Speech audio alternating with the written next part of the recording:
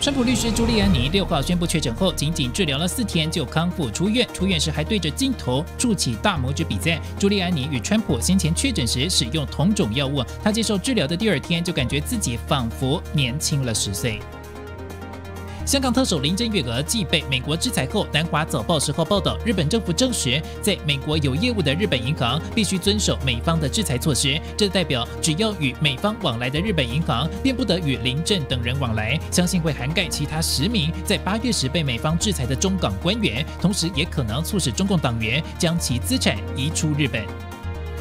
马斯克的美国太空探索技术公司周三进行最新星舰飞船原型的试飞，在约四万英尺的高度飞行六分多钟后返回降落时发生撞击爆炸。对此，马斯克表示，因为火箭回程时油箱压力低，导致着陆时速率过高，但公司已经从这次试飞中取得所有需要的数据。